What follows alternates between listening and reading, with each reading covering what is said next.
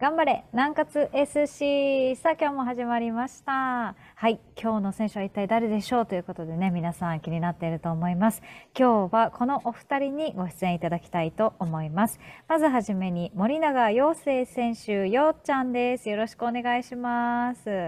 お願いします。お願いします。はいそして佐々木達也選手たっちゃんです。よろしくお願いします。よろしくお願いします。はいイエーイ じゃあ今日はこのお二人でお送りしていきたいと思いますえようちゃんとたっちゃんはいつ初めて会ったんですか？新規加入のお二人ですが結構あったのは早かった。1月の多分3日ぐらいにはもう初めて事務所行った時にもう会いました。ほうはい。スーツでした。あの、達也は。あらパリッと決めて、なんか、なんか初めてだったんで、なんか何着ていけ、着てばいいか分かんなかったんで、一応スーツだけ 着ていきまし真面目真面目ですね。さすが、あでえじゃあ周りの人はほとんどスーツじゃなかったんですか？そうですね。みんな、こんな、今僕らが着てるようなトレーナーみたいな感じでしなるほど。えじゃああのようちゃんが見たら結構あなんかパとししっかりしてる人やみたいなこうそういう印象ですか？第一印象は。いや、ってか、こいつスーツなんやろって言う。え、え？みたいな。なんでって。そういう感じだったんですね。はい。えたっちゃんはようちゃんを初めて見たときは？た。まあ、髪色がちょっとね、明るいんでね、あ最初は怖かったですね。はい。なんか、でも、まあ話したらいい人でした。ああはい。あよかった。えお二人はなんか二人でご飯食べに行ったりとかしたりするんですか？なんか最初の方は連れてくれたんですけどね。うん。なんか今は全然連れてくれないです。あら。いや、言ってこないんですよ。言ってくれたらいつでも言っていくんですけど。あえやっぱりそういうなんかチーム内で後輩からご飯はこうお願いするとかそういう感じなんですか？どんな感じなんですかねそういうのって。いや、でも人によるん、まあ、自分から誘う人もいれば、うんうん後輩からなんか行きましょうよ、みたいな。うんうんこ安いと思いますけど、先輩は。なるほど。じゃあたっちゃんから言うっていう感じは？そうですね。まあ、まあ同期と飯行く方がいいんで、多分同期に行っちゃいます。そう言ってますよようちゃん。同期同期と仲いいんですよ。この、一個下達也の代は。あそうですよねその世代多いですもんね。ずっと大卒と一緒にいるんでうんうん、片じゃあ同期同士でもうご飯にペアって行っちゃうっていう感じ？そうですね。ああそうか。まあそんなチームもいろいろあの上下関係もあったりとかでもなんか上下関係あるようでたっちゃんの様子を見てるとなんかそこまで先輩がめっちゃ怖いっすみたいな感じではなさそうな気がしますが。まあ、ち年が近い先輩はまあそんなにあれなんですけど、やっぱり上は結構離れてるんで、うん。ま話しかけづらいっていうのはまあちょっとあります。あ確かに。え、一番離れててどれぐらい離れてます？どれぐらい？30二回りぐらいじゃないですか。いや、そうです20よねぐらいで。す。ふた20歳ぐらい離れてると思います。いや、そうですよね。じゃあなんかお互いに今までいたチームとはまた別の雰囲気を感じてると思いますが、まあ、1月に加入してこの2ヶ月ぐらいですかね。どんな風に感じてるでしょうか？ようちゃんはいかがですか？まあ、全然環境変わったとこで、まあ、来て、まあ、今とりあえず、青森やったら、もうサッカーできなかったんで、この時期は。外でサッカーできるんで、まずこの時期にサッカーできてるのが嬉しいのと、外で。あとは、まあ、やっぱり、まあ、レベル高い人と一緒にプレーできてるんで、やっぱ毎日刺激になるっていうか楽しいです。おーやっぱりそのプレーを見ていてもあなんかすごい自分にとっても勉強になるなっていうのを学びながらやってるって感じですか？そうっすね。やっぱ自分とか特にポジション、稲さんとかと一緒やったりするんで、うん稲さんで、まあ、やらせてもらってるときは、結構、まあ、稲さんの声とか聞いたり、稲さんのこと見ながら、まあ、プレイしたりしてます。なるほど。なんかこ、この3ヶ月で、これ一番なんか学んだな、みたいな思いつくことあったりしますか？まあ、稲さんもらっちゃってる時は、もう稲さんのしあの声かけ、適切すぎて。なんか稲さんの声かけの通りにこう動いたら、なんか知らんけど、まあ、へえ。すごいな。どいつの間にそれを見てるんやろ？考えてるんやろ？なるほど。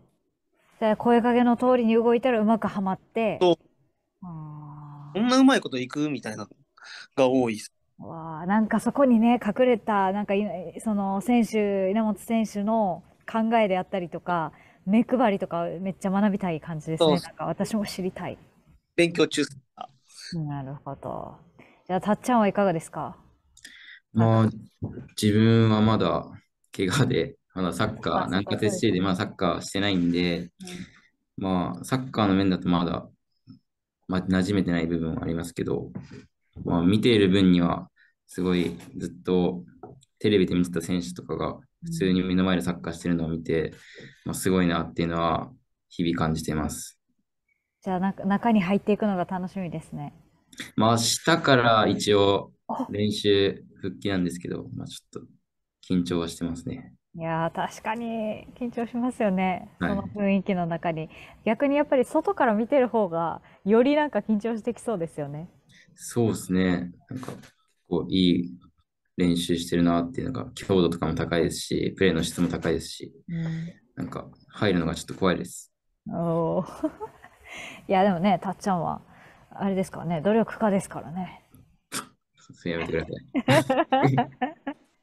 いやね、あの本当に地道に今までトレーニングを重ねてきて、やっと練習に参加できるたっちゃんということで、じゃあ、ちょっとお二人に前半に最後一つあの質問なんですけど、えっと、いつサッカーを始めたのか、で、サッカーを始めたきっかけだけ最初に教えてください。ようちゃんからお願いします。自分がサッカー始めたのは、小学校1年生で、うんまあ、野球とサッカー最初迷っててお、でたまたま家の横の公園でやってたんがサッカーやったんで、それで見学行って、で、入ってみようって感じでした。なるほど。え、その後野球に戻りたいとか、野球やってみたいとかありました？いや、その後も全くサッカーやって面白く、そっからもうずっとサッカー、ボールばっか蹴ってました。なるほど。ね、ボールは友達って言ってずっとボールに触れてて、お母さんに怒られてもボールを触ってたっていう。そう家の中で結構何回も障子破ったり、ボール。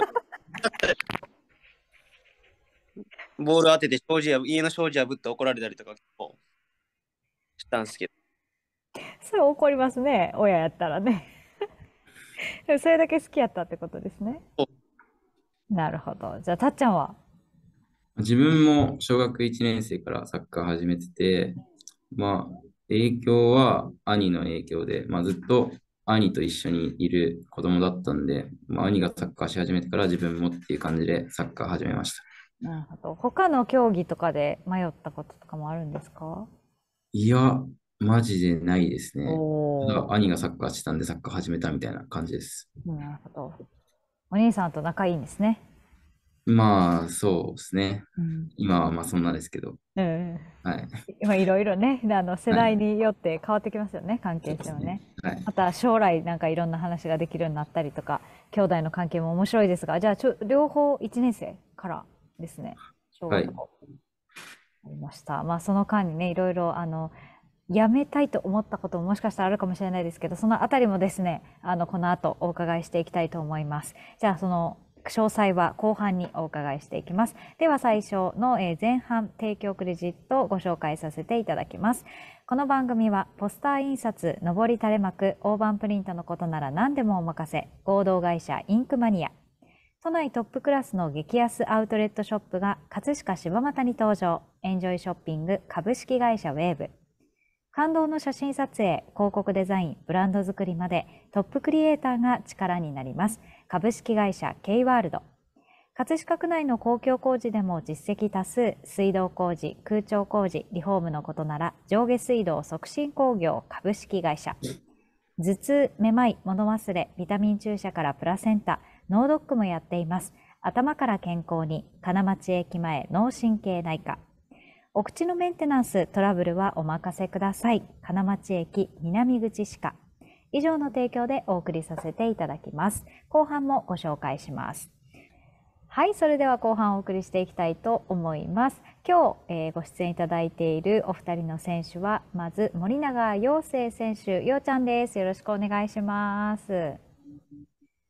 はい、そして佐々木達也選手、たっちゃん、よろしくお願いします。よろしくお願いします。おい。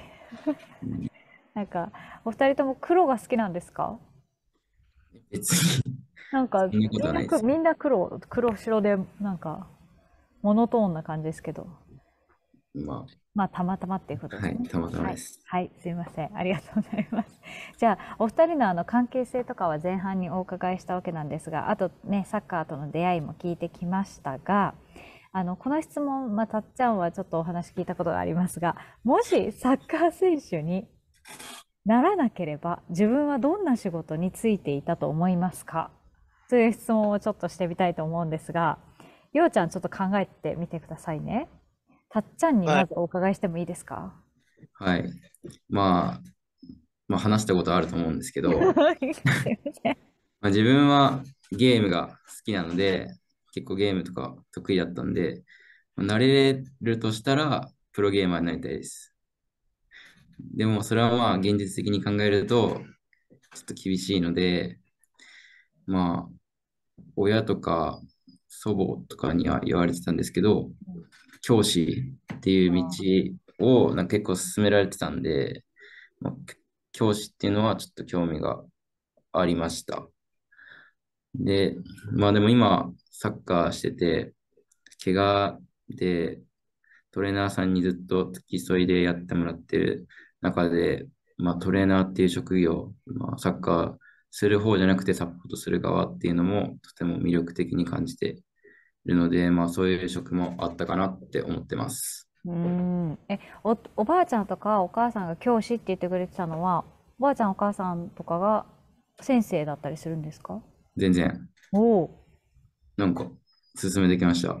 えー、や、いや、それはやっぱり親御さんとかが見てて向いてるなって思ってくれてたんですかね？どうなんでしょうね。普通に。安定してるからじゃないですか。普通に。いや、でもね、今の最後のサポートの部分と、まあ共通するかもしれないですけど、今後、将来的に、やっぱり指導者とか、そういう目線もあったりするんですか？まあ、そうですね。でも、自分の子供に教えたいです。あ、はい家族？家族というか、は家族になった、なったというかし、ね、生まれた子供に。はい。あ、いいですね。たいです。うーん。なんかそうやって受け継がれていくんだなというふうに思いましたが、まあでもゲームをね、仕事にするっていうことも一つ考えたってことですけど、サッカーもやっぱり好きなことじゃないですか。はい。それをやっぱり仕事にできてるっていうのは嬉しい。幸せなことですね。ね。はい。そんな風に小学校1年生の時の自分は思っていました？まあ思ってない。そうですね。思ってはないと思いますよ。うーん。で、逆にサッカーを仕事にしようって思い始めたのってどれくらい？仕事というか、まあ、プロに。大学ですね。大学、あ、大学生。はい。なんかま、きっかけ？きっかけとかもあったんですか？きっかけ、まあ先輩とかがプロ行って、なんかそういう人たち見てるとやっぱかっこいいなっていうのはあって、まあずっと父親もプロなれっていうのは結構ずっと言ってくれてて、なんかそういう応援してくれてる人のためにもっていう気持ちで、まあプロなりたいなっていうのもあります。うんね、なんかこうやってあの南葛 FC の番組だと選手たちとお話をお伺いするのですでにプロになってる方々とお話をするけれどもめちゃくちゃ限られてるじゃないですかやっぱりそこに行けるのは。はい。でもなんかそれがやっぱり裏にはいろんなあの辛いこともあったんだろうなとか思いながら聞いてます。またあのたっちゃんが乗り越えたこととかも聞いていきたいと思いますが、ようちゃんに先にえっともしサッカー選手でなければ。考えたことないですけど、でもサッカー選手じゃなかったら、多分普通に勉強、多分公務員なんか目指してたと思います。安安定みたいな。公務員？うん普通に多分勉強してたと思います。へえ。え、ちなみに勉、こんなん聞いたらあれやけど、サッカー頑張ってる方って勉強って学生時代どれぐらいしてたんですか？いや、サッカー始めてからは全然してないですけど、うん。けど高校はめっちゃ成績良かったんで、やればできるけど、別にそのサッカーあったんで、勉強よりサッカー優先してたみたいな感じだったんで。え、すごい。勉強嫌いじゃなかったってことですか？いや、その、覚えるのとか、その歴、ノート書いたりするのが嫌いだったんですけどうん、その、なんか歴史とかは覚えたりやったんで、へえ。え、そしたら好嫌いじゃないです。うんきな科目は？じゃあ社会。社会です。えー、え、たっちゃんは？好きな科目うーん、数学、ほんまに？多分。数学多分。数学ですね。おうそろばんやってたんで。あ、そろばん教室に通っていた。なるほど。そうか。じゃあ、お二人とももしかしたら、まあ、公務員というか、まあ、教師も公務員だし、そっちの方向に行ってたかもしれないということですけれども、ようちゃんはサッカーで、まあ、職業としてサッカーっていうふうに考え出したのは、まあね、ユースにも行かれてるから、どれぐらいの時だったんですか？えでも小学校でそれこそ自分がちょっとプレゼント、選抜とかに入り始めてから、そっからもうなんかプロになりたいなみたいな、もうプロサ、プロサッカー選手っていうのだけを目指して、サッカーしてきたって感じですね。もうそれ、そっからずっと目指してます。うーん。え、そしたら何歳ぐらいの時からですか？小学生の時からか。小そうですね、小学校まあ4年ぐらいからずっと、もう、なるほど。小学校4年生。そう遊びで始めたサッカーがだんだん楽しくなって、上に行ったりするようになって、プロサッカー選手になりたいなっていうの。えーなるほど。あの、今こうやって聞いてくださってる皆さんの中に、子育て中のお母さんとかもいたりするんですよね。息子が今サッカーをやっていて、みたいな。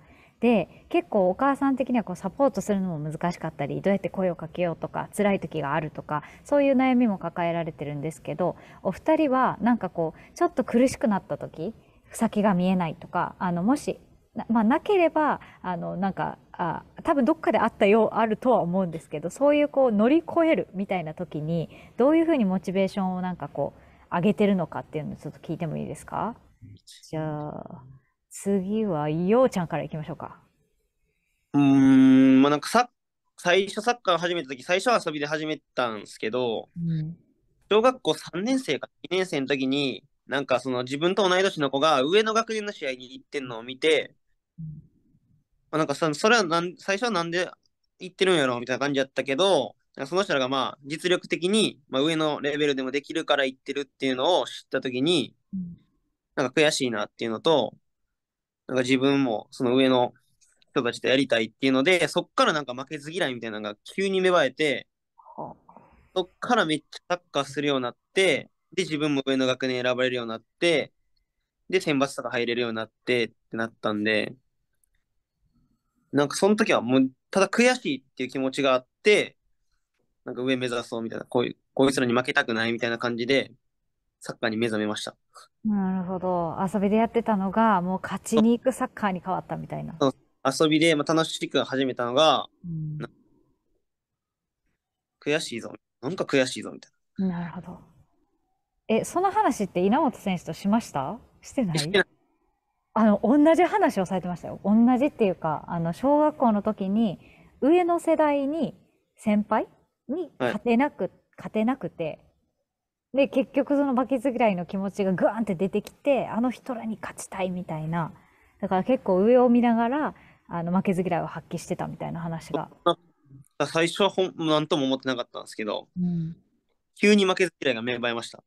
へえ、いや、面白いですね。なんか負けず嫌い芽生える時があるんだな。そうなん面急にマジで。うんありがとうございます。じゃあ、ようちゃんはその小学生時代ということで、たっちゃんはなんかこう、モチベーションを常に上げる要素ってどんな感じですか？モチベーションを常に上げる要素。まあ、ひ誰よりもうまいっていうのを自分に自問自答し続けること。が結構、俺は大学の時結構やってて、練習の時とか試合になると、やっぱ自分が一番輝けるようになんかプレーするみたいなのをずっと自分の心に秘めて、それをずっとモチベーションにやってます。それめっちゃ大事ですよね。なんか自信を持てないこともあるじゃないですか、自分自身で。はい。でもそれをその自分で自信を作っていくってことですよね、多分。そうですね。まあ別に、本当に上手くなくても、その気持ちだけあれば、まあ、自己満にもなるかもしれないし、なんか結果的にいいかなっていうのはあります。なるほど。え、それ誰かに教えてもらったんですか？いや多分負けず嫌いだからこそ、その気持ちが出るのかなっていうのは感じます。なるほど。な、何に対しても負けず嫌いって出ます？サッカーにだけ？出ます、出ます。あ、全部出る？はい。なんか、あの、全然これすごいちっちゃいことですけど、みんな同期でご飯食べに行くじゃないですか。はい。そこに競い合いが生まれるかわかんないですけど、誰が一番食べるかとか、そういう競い合いってあるんですか？そこはさすがに出ないですね。そこは出ない。なるほど。はい。じゃあまあ、無駄な負けず嫌いはまあ発揮しない。ね。失礼しました。はい今のはきっとね、無駄な競い合いで。じゃあちょっと食事の話になったので、好きな食べ物についてお二人に聞きたいと思います。じゃあ、ようちゃん、ありますか？好きな食べ物。は、お実家、お母さんが作ってくれるうん。オムレツです。めっちゃ可愛い発言じゃないですか、今のなんか。いや、オムレツ好きなんですよね。なんおうね外とかでは絶対食べないんですけど、なんかまあ、俺なかなか実家にいることの方が少なかったんで、昔から。ああ、そっか。はい食べたいって聞かれたら、オムレツか油淋鶏って答えてました、お母さん。油淋鶏作ってくれるんですか、お母さんそう。あら。あ、じゃあ、お料理が上手なお母さん。上手っすね。おーだってそうですよね。京都にで生まれて、まあ、ユースの時は通ってて、ユース、ジュニアユースが通いなんですけど、あっちで夜ご飯が出るんで、それ食べてるんで、家でご飯食べないんで帰ってから。なるほど。ユースはもう全寮制なんで、なるほど。